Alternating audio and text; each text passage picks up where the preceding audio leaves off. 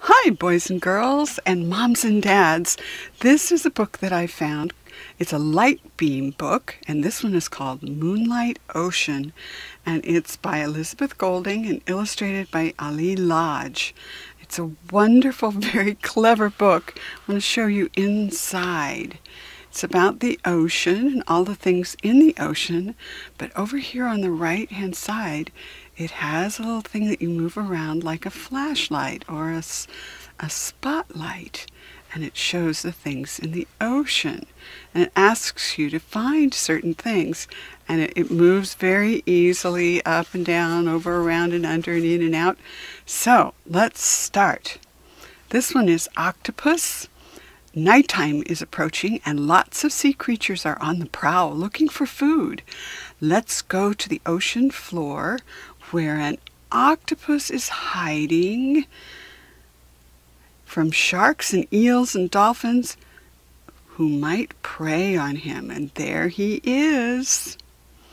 He can squeeze through the tiniest holes as he has no solid parts to his body except for his parrot like beak. He's looking for tasty snails, crabs, and oysters to eat. Did you know that baby octopuses are called hatchlings? Did you know that octopuses have three hearts?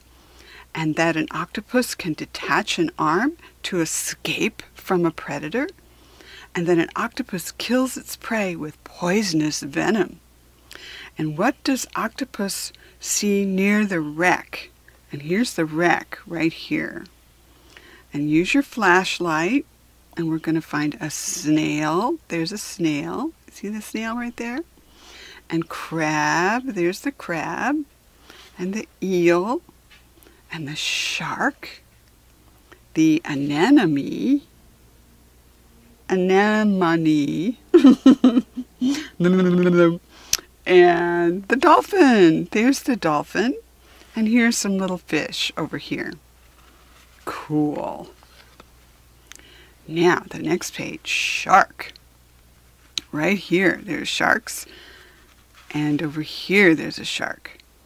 There are more than 350 kinds of shark, but this is a great white shark, the most dangerous fish in the sea.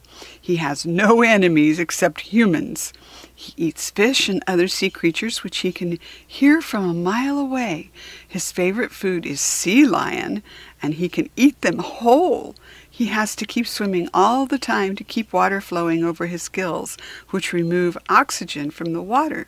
If he stops, he will drown. Did you know that baby sharks are called pups? Right here. Did you know that sharks regrow their teeth amounting to thousands in a lifetime? And that great white shark babies are born five feet long. And did you know that a group of shark is called a shiver or a school? So who's trying to hide from the shark in the ocean? Well, just about everybody. So here we have a seal that's trying to hide, and the sea lion, and all these little fishies, and the tuna fish, which I think is that one with the one little uh, comb on the top. And what else? Oh, squid. There's a squid. And that might be a tuna too. That might be tuna fish. A snapper fish. There he is, right down there at the bottom and mackerel. That would be the green. Oh, that's mackerel right there. Oh, no, maybe that's the mackerel. I don't know. I can't tell. That's the tuna fish, and that's the mackerel. More teeth on their back. Cool. And look, all the, the little snail and the starfish and all kinds of things here too. Clownfish. Oh, they are so pretty. There's one right there. Here's the clownfish. And the sea anemones are best buddies. He lives with, a, with an anemone and is protected from its poisonous tentacles by slime on his skin. See if we can find another one here. Is that a clownfish? I think it is. There he is in the water. Clownfish swims out into the reef where it lives with other creatures are attacked to the anemone by its bright colors. The anemone, anemone, I'm having trouble with that word, I'm so sorry, stings its prey and eats the little fish, and the clownfish eats what is left. The anemone then eats the clownfish's waste. Did you know that baby clownfish are called fry? And that clownfish start their lives as males, then only a few become females as adults. And did you know that a group of clownfish is called a school? And that male clownfish guard their babies for several days. Good for them. Now let's see what clownfish see in the reef. Well, they see a starfish, and I don't think there are any starfish in our spotlight. But there's a crab, and there's the anemone, and what is that? Oh, a stingray. Oh my goodness. And a snail, and the clown. Oh, that's a butterfly fish. That's a butterfly fish. And shark. And there's a little clownfish.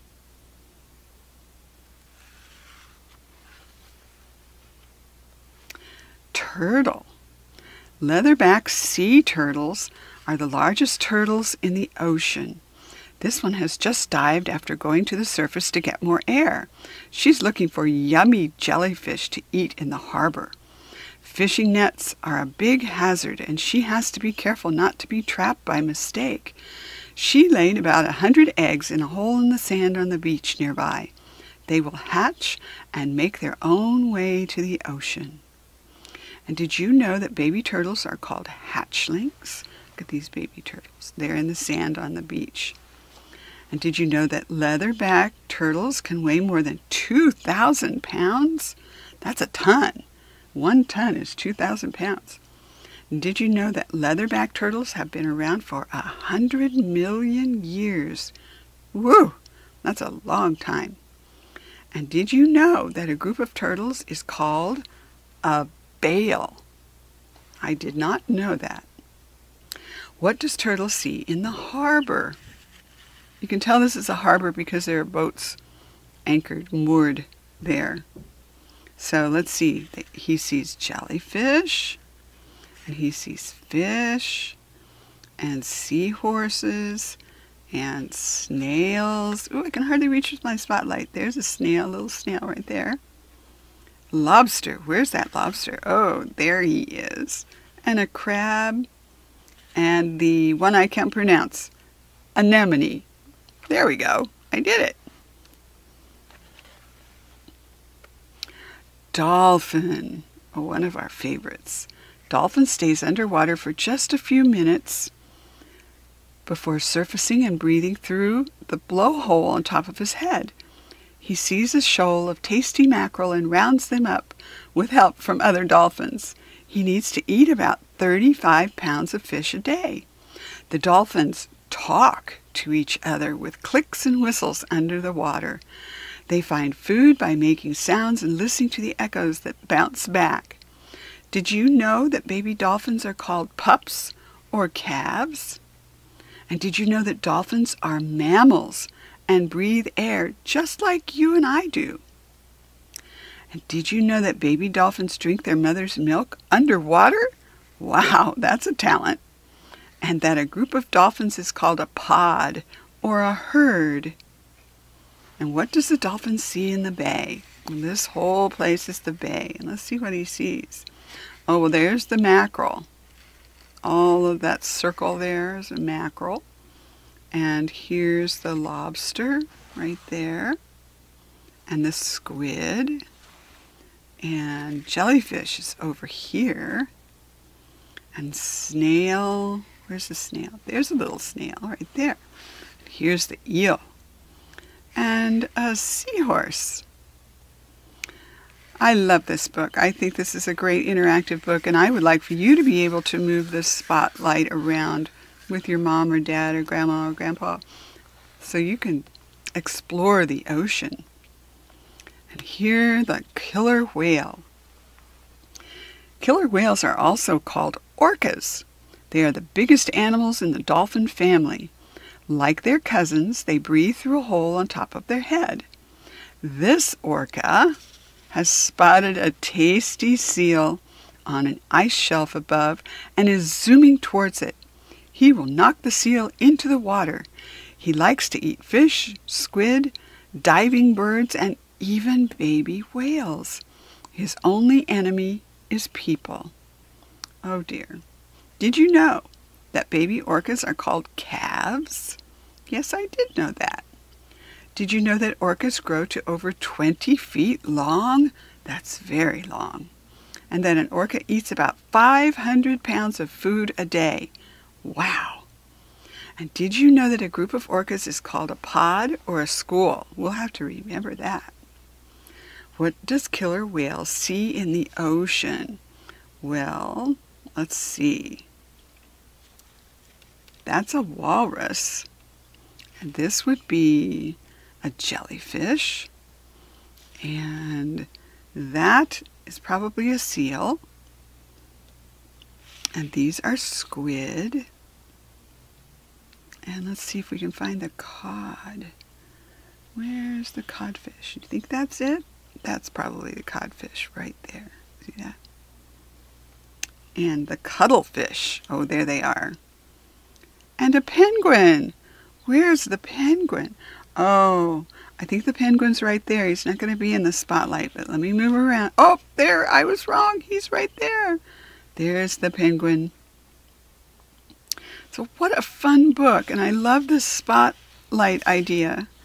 And remember, these books are called uh, a light beam book. And this is Moonlight Ocean, but there's also one with animals. So have fun looking for these. I recommend them highly.